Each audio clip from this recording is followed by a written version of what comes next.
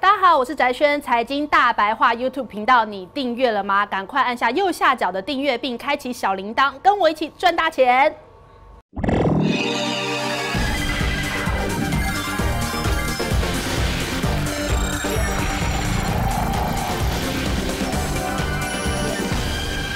看财经大白话，每天多看五分钟，财富多更多。我是翟轩，每天早上十点教你怎么省钱又赚钱。节目一开始，我们先来看财经大头条：减税红包，这基本生活费的扣除额要调高到十七点五万，明年五月报税会适用，预估有一百八十四万户受惠。再来，大力光要汇回一百一十亿拓产能，这海外资金汇回专法上路四个月以来的最大咖，而且预估后续的这个总金额是上看五百亿元，而且国际。资金是不是要避险呢？现在国际的金价是冲破了一千五百美元。首先，我们来关注台股。现在今天看得出来，这个台股有这个一万两千点的保卫战。另外，还有包含了钢铁、被动元件和记忆体这三大族群，似乎也在清库存。可是市场上说，这个一二六八二的魔咒不能小看。我们来连线资深分析师鼎泰哥，请说。好，大家好，大家好。我想啊，这个。这关于这一二六八二的魔咒，大家我认为大家不用太担心啊，因为这个大概在三十年前了哦。当时候一二六八二的，如果要谈一二六八二的话，要知道它当时候的内股的结构是不一样的。最主要去当时候的是是以金融、船产为主流，那如今来到这个一万两千点上，台北股市已经跟全世界接轨了，属于叫做所谓的这个啊以电子科技股为主流，所以我认为这个大家不用太担心啊。我认为，如果啊，美国股市还能够持续创新高的话呢，那大家就不用担心啊。美国美国股市以目前华尔街的看法是说，如果元月份啊，明年的元月份就是有元月效应的话，那这个架构的话，对于美国股市啊，全年再度上涨的机会原本就有百分之八十五，但是啊，因为最近国际股市都涨很多，都来到历史高点的话。华尔街的分析师有这样大大概做个小修正，说如果元月效应是上涨的话，那也就元月份上涨的话，那么全球美股在上涨的几率有百分之八，有百分之七十五。所以我认为一二六八二应该就不是魔咒哦。而且我刚才说过，当年是以金融、船长为主的话，现在是以科技股为主的话，两个是截然不同的。然后呢，我们再来看资金动能方面有两个，第一个联储会的利率会议啊，事实上还是属于比较倾向于这个降息的这个动作。那目前降息的这个效应还在发挥，另外还有劳动基金的千亿元的话，明年第一季预估都还能够进场，所以我们说聪明险啊，已经对这个市场上慢慢的做一个介入的一个一个情况。那刚才啊，这个白轩也有提到说，半导体啊这个地方虽然说短线上有点疑虑的话，我认为如果半导体有疑虑的话，你可以留意第一季有涨价题材的，比如说被动元件啊。甚至一些钢铁类股，事实上，我们看钢铁股啊，啊，最近大概报价也从低档慢慢的做上来了。啊，另外的就是记忆体，那就是说我们从半导体的部分往上推演到记忆体。所以以记忆体的这这个股来看的话，投资朋友你不妨留意美国股市的美光 Micro 的一个股价。另外就是南亚科，啊，南亚科大这台北股的南亚科。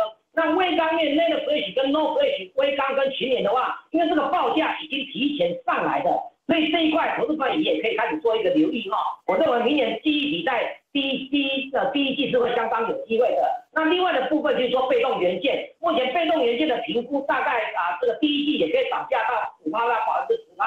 大家不用认为说被动元件最近的涨幅相当大，我还是要跟大家讲，被动元件呢，从去年从去年大跌之后，今年才刚刚起涨的开始。所以你可以留留意一下国巨，因为法人目标要调高到六百块。那齐力新因为打消库存的速度比较快，齐力新也可以大家锁定。另外，最后还是跟大家讲，传统产业类股不是没有补涨的力道，你可以留意像大成钢啊，或者中红。那最近也有所谓四季钢跟跟风力发电有关系的话，明年也会大大幅成长超过两成。总而言之，我还是看法说，大家对一二六八二不用太担心。最主要是因为明年还有美国的总统大选，大家还是仍然要用多头的角度来看待，提供大家做一个参考。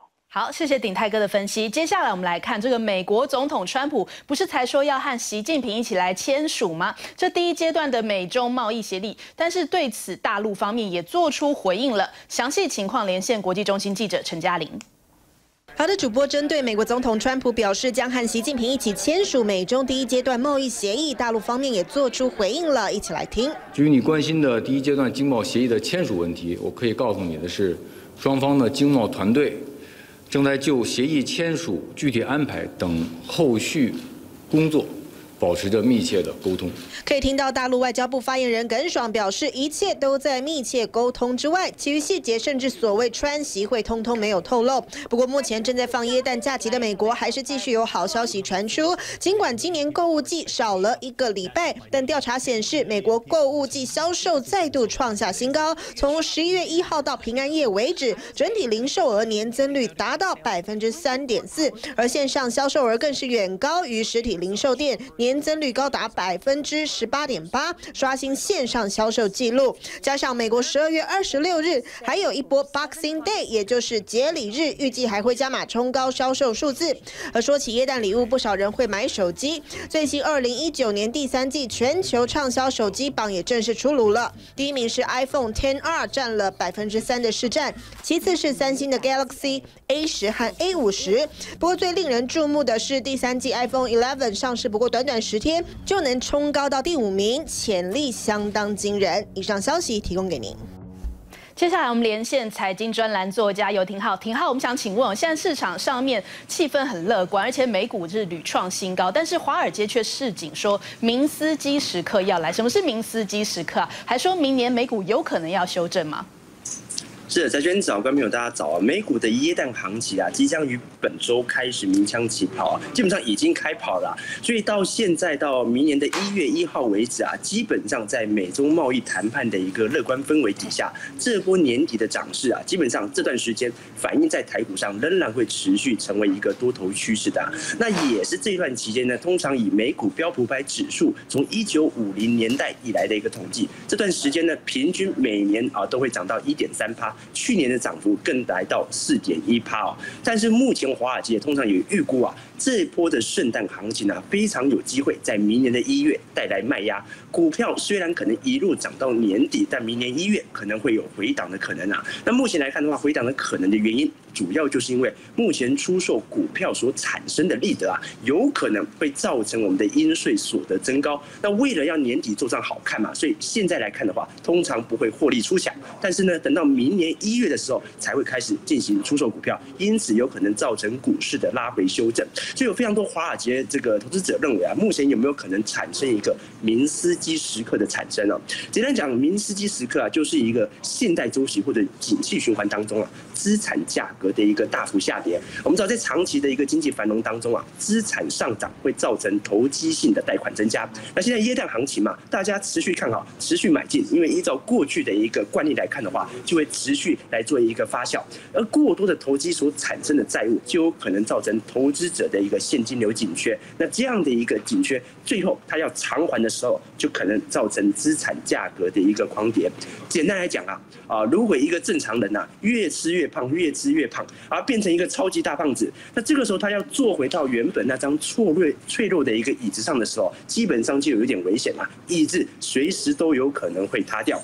所以这个时候呢，要解决这个办法，联准会是最有可能解决这个办法的一个角色，那就是让景气慢慢的进入软着陆的一个阶段哦。什么叫软着陆啊？意思就是景气眼看着已经到高点了，或者已经过了最高点了，那不可能直接迎来大衰退嘛？因为大衰退对于经济所造成的冲击太强烈了。这个时候如果造成一些周期性的趋缓，或者说持续性的一个降息，让景气慢慢慢慢的进入衰退，这样就可以达到一定程度。的一个效果啊，简单来讲，就全球经济繁荣，就像一个跑得非常快的一个大胖子啊，正在冲向一座窄门。如果你不阻止他，稍微减个肥，或者调一个好的一个角度，让他可以好过门的话，那么重力加速度啊，很容易会让他撞上门，就有可能造成经济崩溃。所以目前来看的话，明年整体的一个经济形势，还要看联准会是否采取降息来做一系列的一个观察。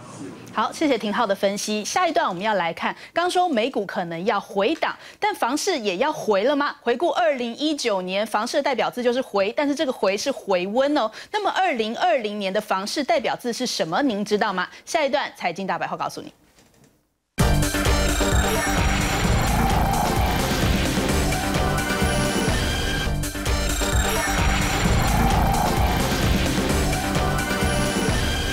财经大白话，明年的房市已经由空翻多了吗？二零二零的房市究竟该怎么看？先介绍加入我们的来宾，财经教授、财经专家黄世聪，资深分析师邱敏宽，财经教授朱月宗。首先来请教世聪哥，这个一二零一九年的房市，我们说是回这个字，那么二零二零年这个房市应该要怎么看？这个字到底是什么字呢？对，事实上我们民众都会选出一个一个字，这个代表今年的整体的这个展望跟景气，但是房市也是一样，他们这个房这个房市的一些联合会啦，或是一些房仲的会啦，他们选出一个年度的代表字。如果以这个二零一九年来说的话，是量。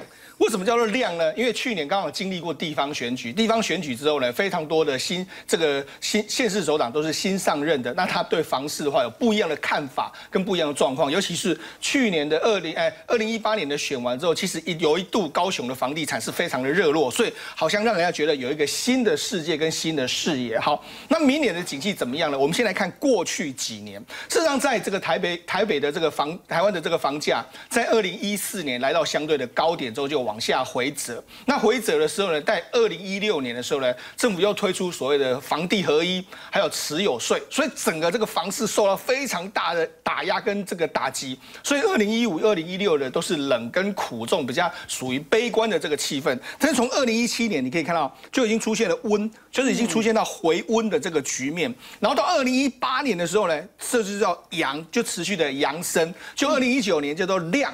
那对二零二零年来说的话，这个目前的这个一般的房市的看法是认为说会是“勇”这个字。那为什么会是涌呢？主要是有两个部分，一个就是台商回流的资金，嗯，另外一个就是房市从二零一三年开始的整理的话，已经整理了大概约莫五年到六年的时间。如果以一个景气循环来讲的话，上一波的这个房地产的这个景气的热络是从二零零三到二零一三十年，那你十年的话回档个五年，整理了五年盘整之后也差不多了。那再加上说政府其实也没有新的所谓可能会抑制到房价的一些相关的这个措施，加上。房地合一税啦、持有税这些，大家都已经适应了相关的税制，所以对明年来说，其实大家是还蛮看好的，是“勇”这个字。好，那么讲说，那在选说这个今年的这个几个重大的事件里面来说，会影响到明年的这个状况。我们现在看一下，实际上今年的最重大的这个新闻事件的话，很多这个包括说这个全国的房仲联合会，他们认为说，第一个是。台商回流日益增多，工业土地很夯。我们可以看到，今天不是一个刚才翟迅有讲到一个最重要的消息之一，就是大力光，嗯，他回回汇回了这个一百一十亿这个台币的这个金额要来投资，那后续可能。还会有更多的这个金额会投资，那事实上的确是如此。如果你近最近期去看台湾的所有的这个工业的这个用地来说，可以说几乎是大爆满，一地难求。真的是一地难求。我有个朋友就跟我抱怨，他说：“哎，他想要回来这个五股设厂啊，买不到。就那五股现在在宣传，五股现在工业地一平多少钱呢？几百万。”哇，一平一百万，然后他就说他租个三百平的这个房，这个三百平的工厂哦，一个月要付七十五万。他说，哎，你根本要了我的命啊！一百这个一一平一百万的话，三百平就要三亿。他说我怎么可能花得起？所以现在整个工业用地真的真的夯的程度是大家超乎预期的。那这代表什么？很多都说啊，这个股市不是涨到一二六，快要一万两千点了吗？那为什么景气没有感觉到很好？我跟大家讲，很正常。为什么？因为股市本来就是表现在。景气之前，所以可能明年的景气。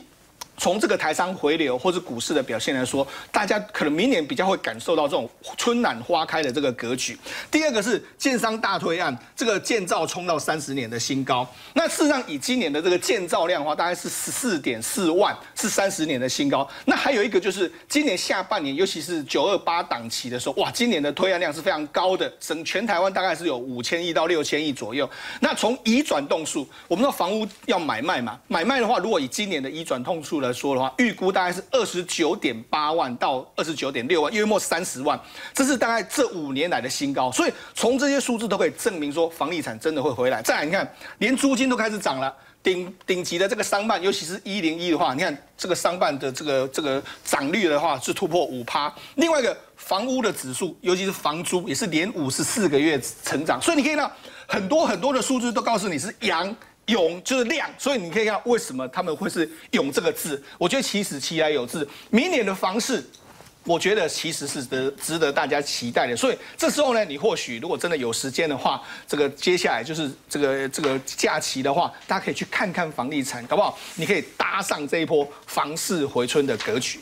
没错，就连那个戴德梁行的总经理严炳立，其实也都说，哎，一直以来大家都视他为是房产的明灯，因为他的预测都非常的准。他也说明年的房市其实已经由空翻多了。换句话说，这个房市是不是已经有回春讯号呢？请教宽哥。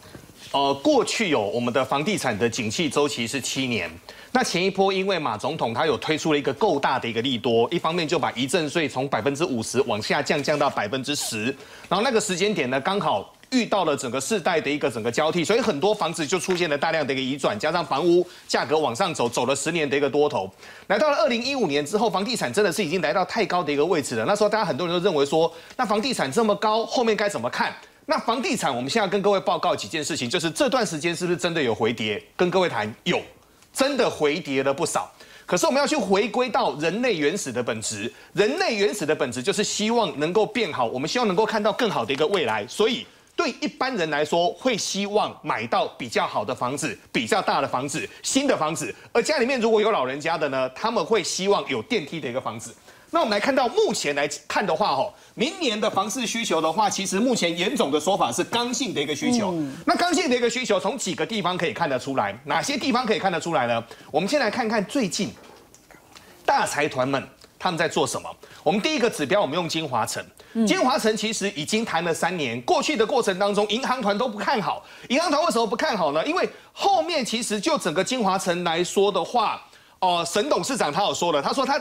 几十年的过程当中赔了上百亿，可是后面他发现没有人出价。其实有没有人出价？有，台湾很多大型的，例如说像新复发的老板就一直要出价，可是他在等低价。后面呢，中石化他自己标回去，现在要整个拆掉，未来要盖新的所谓的商务大楼。我们再来看南山人寿，南山人寿这次用了七百四十四万去做下 BOT 每平哦。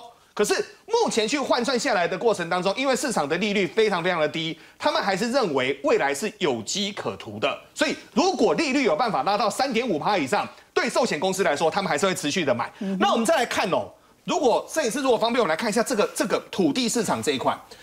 二零一六年的土地市场是八百九十二亿，再来是一千两百四十二亿，又往上走走到一千七百三十四亿，请各位去注意这个数字。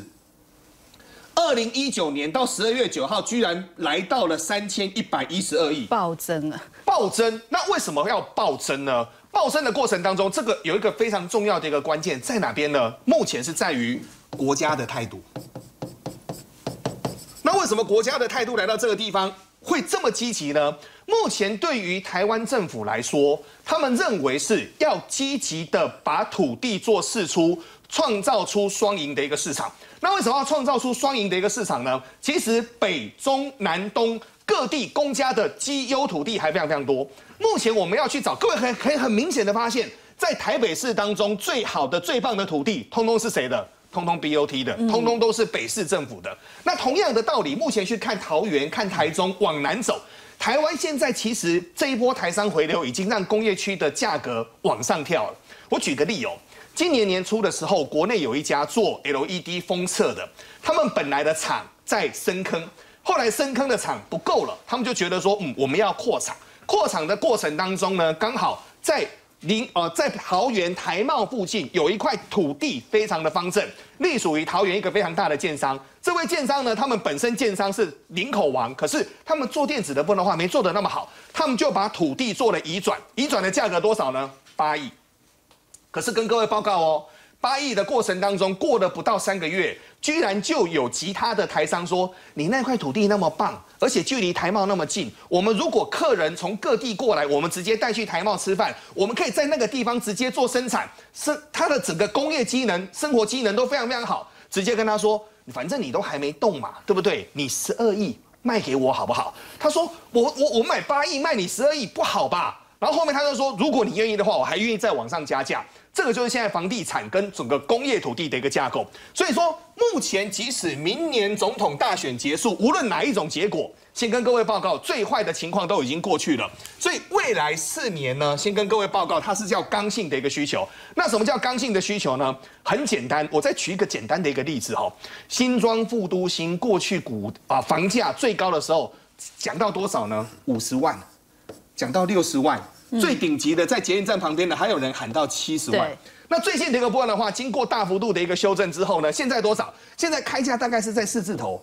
那如果你运气好呢，二十八、二十九，可以拿到很多，可能是投资户，可能是撑不下去的，他们卖出来的。过去是这个价格，现在是这个价格，生活机能逐步在往上走。各位去思考看看，所以就房地产来说的话，目前审慎当中带着乐观，但是这一波因为很多资金的一个回流，未来来观察的话，刚性需求逐渐在出现当中。好，接下来我们继续请教这个朱老师哦。这个房市回温是有迹可循，光是这个建商裂地哦，刚刚就是两位老师也都分享到，建商不停的在裂地，一地难求啊，甚至是大举裂地三十万平，据说这个面积已经超过了六十座金华城这么多，大家真的这么抢着要吗？呃，确实哦，这个春江水暖谁先知？房地产一定是建商最先知道嘛，所以你看到今年建商买地哇，真的是不手软，整整比去年增加了超过一倍。你看去年整体买还不到一千亿，今年已经破两千亿哦，成长率高达百分之一百一十四。可是呢，你也不要觉得这些真的都是建商出手的吗？哎，其实我们要先看下面这个制造业，有些制造业大咖的，他可以自己动手去买地。好，譬如说我们看到广达，看到国巨。甚至你看到美国的 Google 来台湾都在买地，都在台南买地了。好，这些大咖他可以直接去买地，所以你看有制造业。可是有些没有那么大咖，他可能就跟建商合作哦。所以你看，你看到这整个数字真的是整个大爆发。好，那除了建商之外呢，第二多的哎，这个金融业，尤其是保险公司，真的是买地不手软哦。就刚，譬如说刚刚前面提到的，你那个台北 BOT 南山标下来那个地上权，哎。地上权还不在这里面，因为这是把它买下来的。地上权只是买使用权而已，不是买所有权。你看到南山标那个地上权，居然就花了一百五十九亿，一平平均七百多万，天哪！都还没有所有权，他都敢花花钱花这么大钱去买了。买那个买贵了，但是竟然他还有的赚。对，所以你想，那更不要说把所有权都买下来，他当然也就是不手软了哈。所以说，那其他的个人的部分我们就不一一去讲了。好，那所以我们再进一步去看，那这些人在买地，谁买的最多？哈，第一个大家一定都都有看新闻就知道，微金集团把。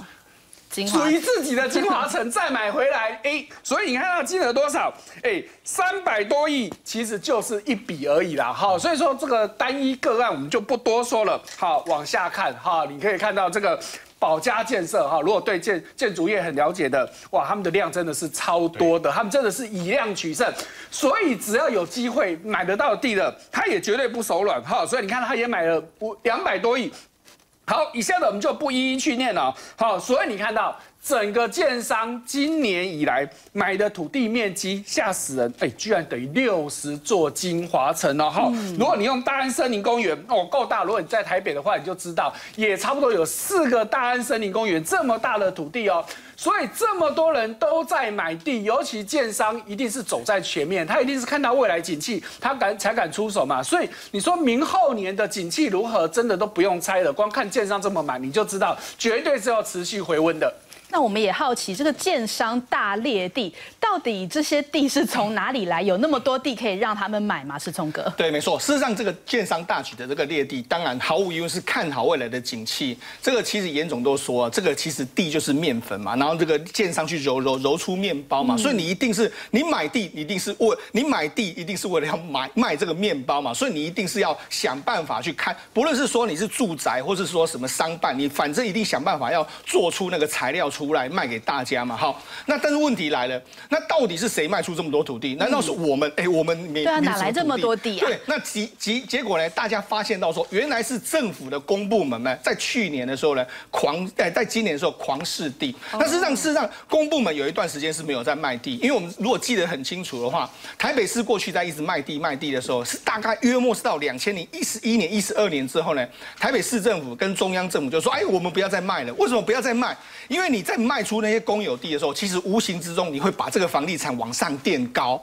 因为大家去去购这个地的时候要打房，对，速地多的时候，你你高价买下来的时候，你未来的建商一定用高价把这个房子盖出来。所以为了这样子，政府就说，那我不要试地，那不要试地，那所以导致呢，后来整个你要取得这个好的布料也越来越少。但是呢，现在反过来，因为经过五年的这个盘整之后呢，公部门也很清楚嘛，如果景气不好，说我卖土地出去，波浪被矮嘛。但是为什么现在要重新卖？就是因为现在景气的确触底，而且他们有时候呢，像我们知道很多地方政府啦，他其实有那种所谓的他的需求，他认为说，哎，我的可能资金不够，我要自筹财自筹财源的时候，所以我就把土地拿出来卖。所以我们可以看到，过呃今年的时候呢，如果透过政府标的取得的面积高达二十五万平，那合计的这个标金高达一千三百三十三三十一亿，这些大概就是入了政府的口袋。那其实对你我来说，也也是一件好事，我们可以享受到税收或者说金额带带来的一个成果。那占整体交际金额的百分之四十九。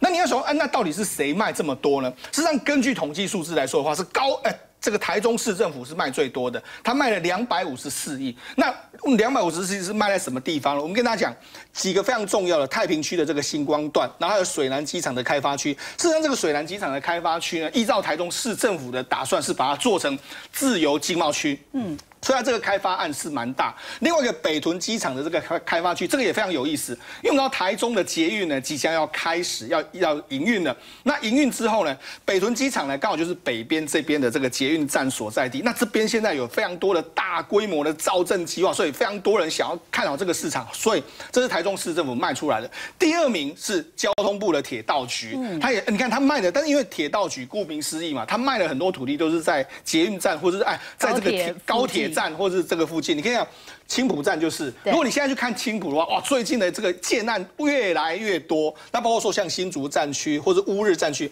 这个乌日站区就是这个。高这个高铁的所在地，而且未来的台中捷运的南边就是从乌日这边起，所以这个地方哎，现在大家也非常看好。包括说南这个台南的这个归仁站区，那刚才老师又讲到这个台北市政府，他卖了新义行政中心就一百六十亿，哎，这个是所谓的地上权啊，就卖了这么多。那你知道为什么卖这么多？大家都知道最近这个这个百货公司又新开了一间，哎，百货公司新开一间的后，大家就问这个百货公司的老板娘，她说：对啊，这个是杀戮战场，这没办法，他们一定要进来这个。地方，所以即使在这个地方，你再怎么高价，我要想办法卡位进来。接下来还有世贸三对，那还有国有财产财产署啦、台南市政府啦、新北市政府、高雄市政府、桃园市政府等等，所以卖了这么地这么多地出来呢，我觉得未来的这个行情，大家不用，的确像老师讲的，不用去说看的太坏，因为建商都敢砸大钱，哎，他不会拿自己，不会这个砸自己的脚，他是真金白银出来的，真金白银出来的那个绝对是实际化。对，这世聪哥帮我们分享完，这商办大家都在列地呀，大家都想要抢买这个商办的好地点。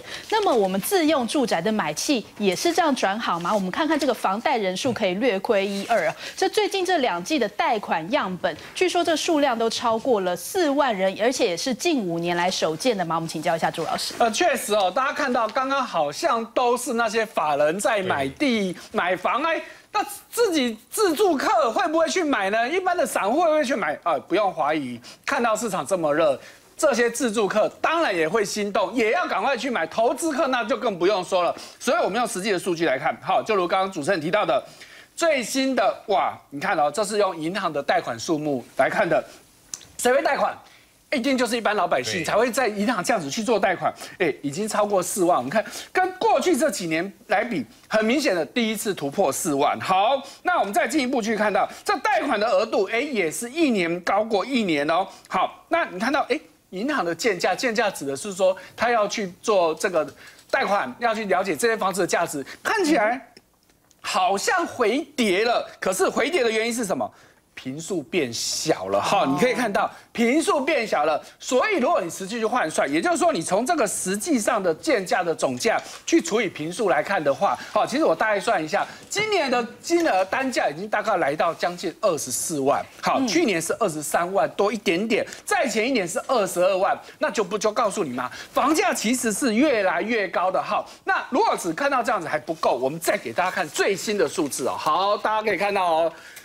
最新的到结算到十一月的，今天报纸提到的贷款余额创新高，哇，来到多少钱呢？大家可以看到，十一月已经达到七点三五六兆新台币，这什么意思？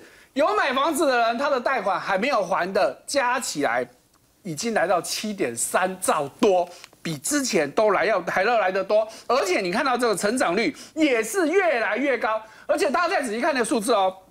不只是一般的房贷户的贷款余额在增加，你看到的建商的贷款余额其实也都是在增加，而且建商的贷款余额成长率是更高的，这不就在告诉你吗？我想买房的，我没有钱的，赶快去贷款吧。尤其呢，我们再回过来看，哎，刚刚告诉你价格越来越高，可是你看到什么？利率越来越低，房价在涨，利率越来越低啊！你不买，现在不买，你要等到什么时候？你要等房价回跌吗？还是要等利率回升呢？当然，就这个自然这想要自住的人来说呢，有一个最新的数字告诉我们。以目前来说，自住客高达百分之八十七点五，哇，这跟以前房市在热的时候不一样。以前房市热的时候，我们看到几乎都是投资客，对，这一次居然绝大部分都是自住客。所以当自住客进场的时候，这个房价它持续走升的时间，可能有机会就会拉更长。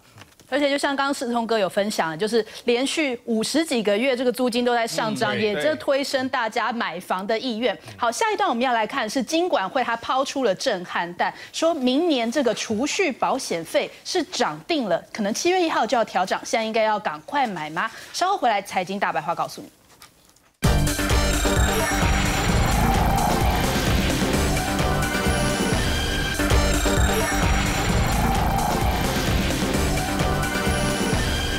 财经大白话，很多人喜欢买这个储蓄险当做投资的一部分，但是金管会却是认为说，保险跟投资应该要分开来看，包括这个明年一月一号要调降这个预定的利率，而且民众的保费也要增加。昨天更是加码宣布说要拉高这个保险的门槛，将这个还本期拉长，所以保险经纪人就预估这未来这个六年期的五十万保单为例，可能要多等待六到十年才能还本。换句话说，这个保费也要增加将近十趴。先看这则报道。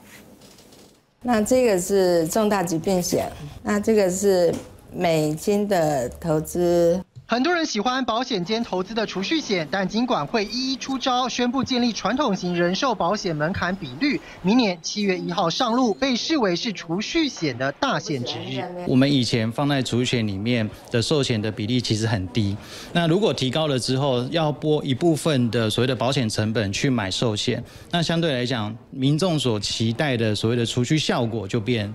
稍微差了一些。保险经纪人用白话文解释，就是民众买的储蓄险，未来减少投资，增加保险比例，因此光是还本期就会拉长。像是目前不少六年期储蓄险，六年缴完几乎就还本，未来预期还要等待六到十年。而一月一号开始，尽管会先调降预定利率和责任准备金利率，同样影响保单收益。对民众来讲，他如果放一样的钱，他在明年度。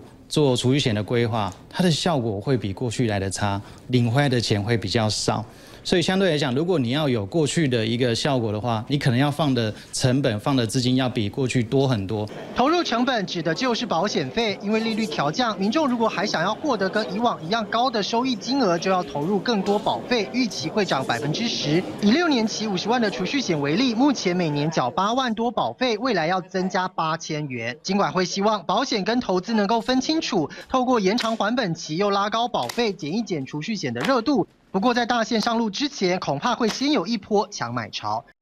没错，这金管会抛出震撼，但明年恐怕买不到这个便宜的储蓄险。这保险局是宣布，这传统传统型人寿保险的门槛比率，这个被保险人一直要到九十岁之前，这个保险额都不能够低于保单价值。这听起来有点复杂，这是是不是就代表说明年七月一号之后，保费就要涨定了呢？对，是储蓄险的保费会涨定。好，现在我们想这个结论之前，我们先跟大家为什么会有这个情形出现，是因为金管会它修。修订的一个新的针对保险业的几个规定，有三个。第一个，储蓄险的这个死亡的这个保保障的金额要把它拉高，这是第一个。那第二个是寿险的这个房贷的寿险的话，它这个佣金比例它重新来设算。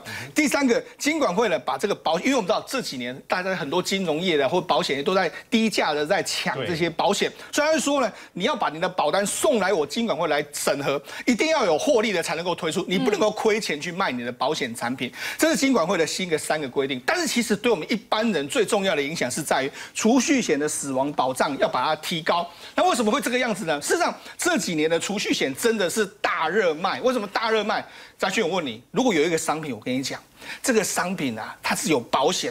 这个有那个保险，然后又兼具投资储蓄，你觉得这个好不错啊？一举两得。对，一举两得，所以很多人都去买这个储蓄险。那尤其是什么东西？你看，国人是偏好短期储蓄，也就是说，我有这个寿险的保障，那我有一个这个未来可以投资或者是可以储蓄。所以这个你看，市场比重高达百分之五十四哦。那你看去年的这个储蓄保单的新契约是七千四百亿元哦，周遭人都在对，大家都在买。那尤其是在轩，你知道去年二零一八年呢最热卖是什么？美元保。单，然后美元保单那一年卖了去二零一八年卖了多少？五千七百亿呀！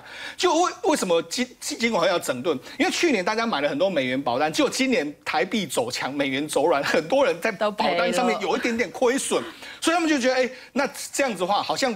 保险，保险顾名思义就是比较保守，就你因为保险没有保到，你反而会亏钱，所以这个好像大家尽管会认为说保险就是保险，储蓄是储蓄，那是两件事，投资是投资，所以他把它分开，所以他现在硬性规定就是说。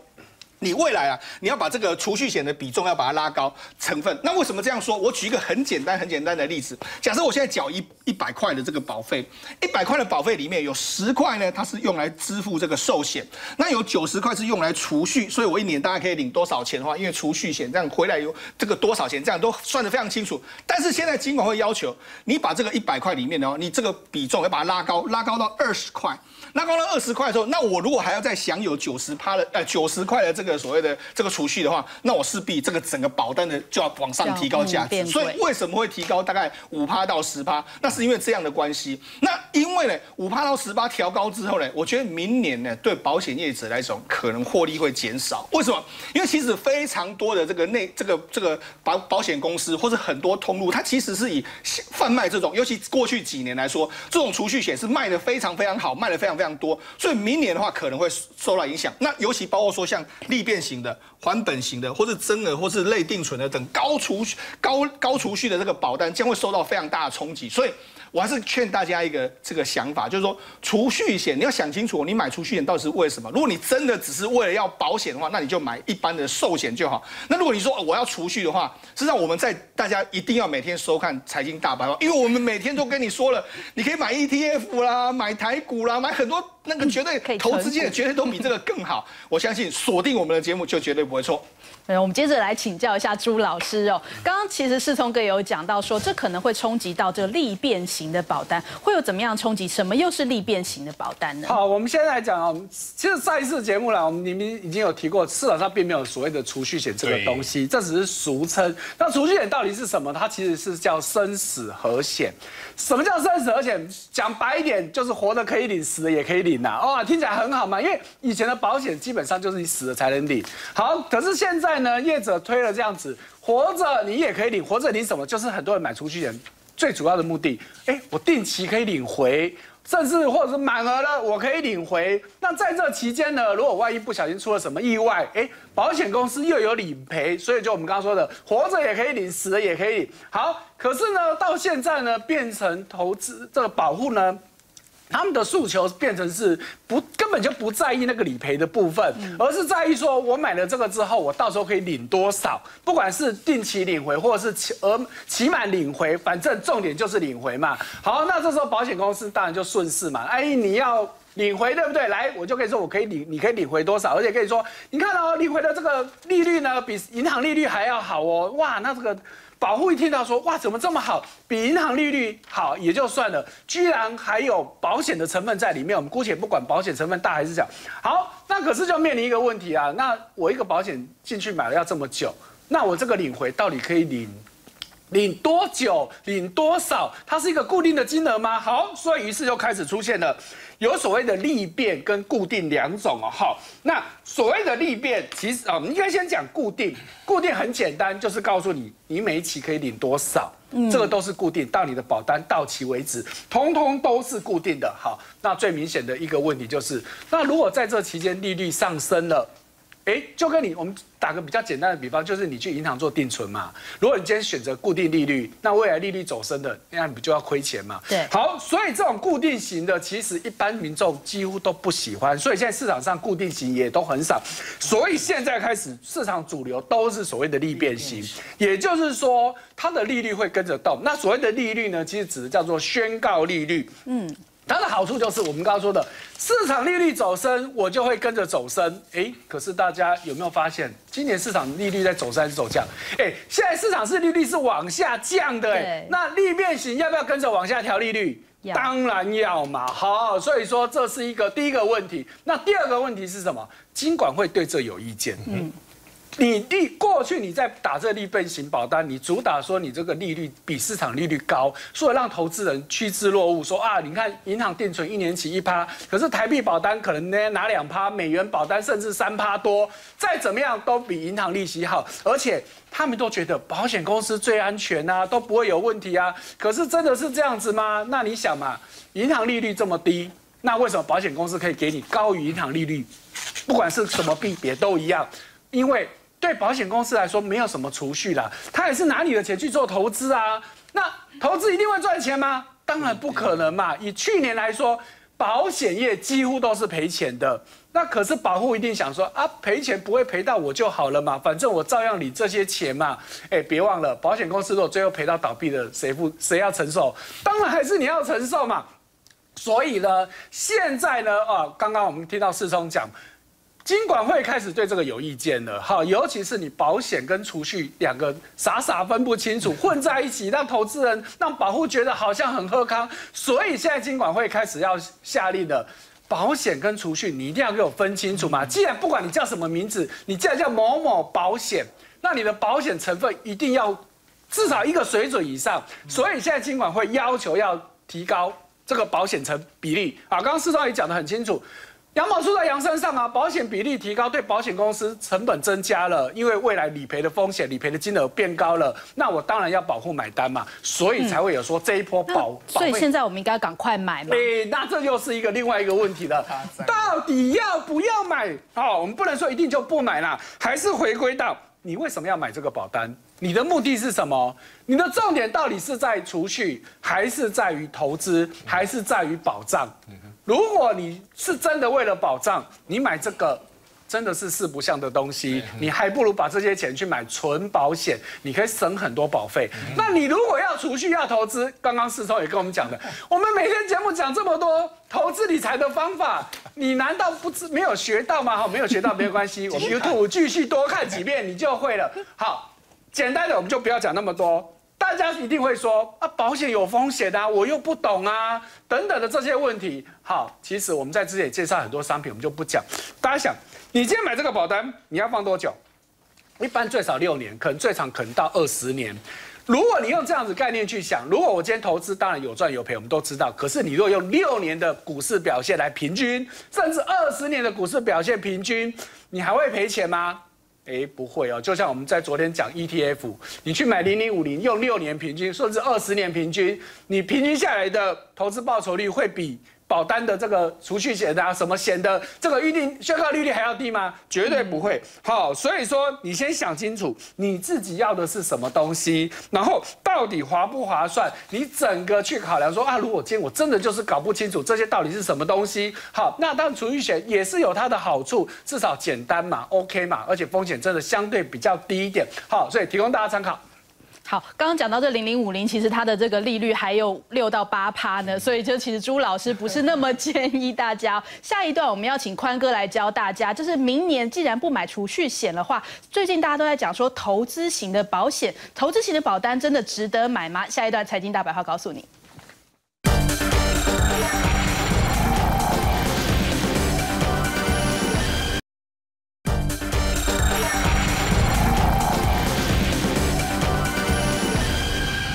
来财经大白话，刚刚预告有讲到说，现在是不是投资的商品，大家已经不喜欢买储蓄险，反而是对于这个投资型的保单更感兴趣呢？请教宽哥。先跟各位报告，储蓄险为什么来到这个地方问题这么大？哈，最新的一个数字，保险协议中心当中申诉案件堆积如山。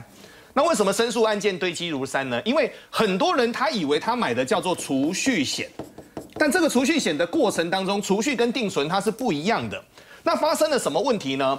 台湾的很多保险从业人员，他的话术真的是太厉害了。他很多的案件就跟你说，你看哦，这个地方有利率六趴的情况，它未来的获利会多少？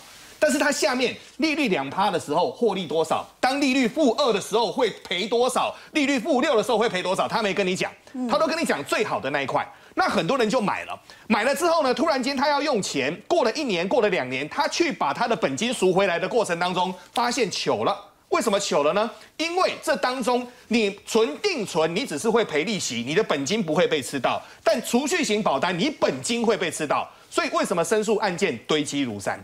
那堆积如山的过程当中，最近顾主委甚至于放话说了，说什么呢？顾主委说，你绝对不可以贷款，你绝对不可以贷款去买保险。那为什么呢？因为这当中有涉及到两个问题。现在很多金控公司，他就卖了很多的一个保单。那卖保单的过程当中，他就说，反正你有一间房子嘛，你就把房子拿去贷款，拿来买保单，变成金控公司双头赚。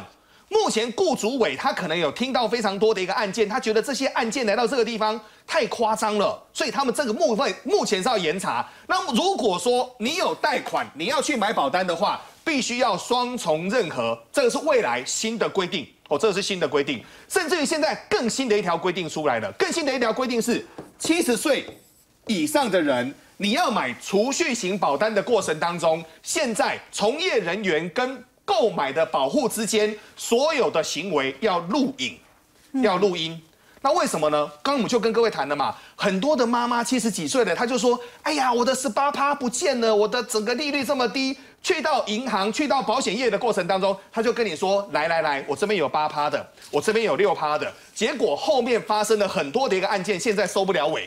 那目前这些案件都还在申诉当中，甚至于最新的一条条款的过程当中，我们刚好跟各位报告嘛，外汇保单。外汇保单的话，我跟各位报告哦，国内非常出名的一个主持人陈凤欣，凤欣姐，她就说，居然有保险员跟她的妈妈说，现在的外汇保单的利率非常非常高，所以啊，你要去买外汇保单。然后凤欣姐的妈妈跑去问陈凤欣说，凤欣啊，那现在澳元的状况怎么样？南非币的状况怎么样？然后其他货币的状况怎么样？凤欣姐一听到快疯了，看她妈妈说，拜托妈妈你不要买，因为这些产品你并不懂。所以要跟各位谈论到的，定存是定存，银行是银行，保险是保险，其实它是不分开的。我一直常跟各位谈论到，如果以保险来说，你最好是去保了险，你一辈子都不要用。为什么？因为保险就是万一发生了什么事，你可以有足够的一个保障。可是以储蓄型保险跟所谓的一个保险来说，这个完全都是背道而驰的。所以我们要进入一个重点。保险业未来会大洗牌，为什么呢？因为储蓄型保单的过程当中，我们要跟各位谈论到几个重点。国内最厉害的经理人之一，得到亚洲的，啊，得到亚洲的最佳经理人奖的中信金的吴益奎执行长，他直接说到啊，目前全世界五大的公债发行机构，美国、英国、日本、德国、法国，有四个国家公债都在负利率以下。所以未来你说要让这些包括二点五趴以上的殖利率，能够让保险业来达成，有它的困难性。所以每年卖出这么多的保险过程当中，刚才其实老师也说明到了，当大家卖出这么多的保险，它真的能够完全自己执行吗？不一定。所以投资型的一个保单，明年会变得比较夯。那为什么会变得比较夯呢？投资型的一个保单，它现在有点像什么呢？